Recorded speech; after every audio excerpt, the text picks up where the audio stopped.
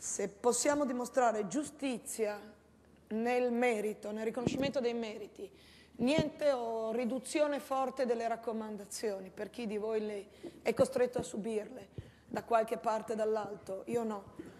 Uh, voglio dire, comunicazione interna diversa, riunioni fatte di racconto di un percorso, di un'esperienza. Vedo qua pochissime donne, forse il vostro settore, ma le cose cambieranno. Comunque scambio di competenze, pezzi di capacità di sintesi maschile, lo sto imparando ogni giorno da voi, ma pezzi di capacità di metterci in gioco come persone, come emozioni al femminile. Fa brodo, funziona.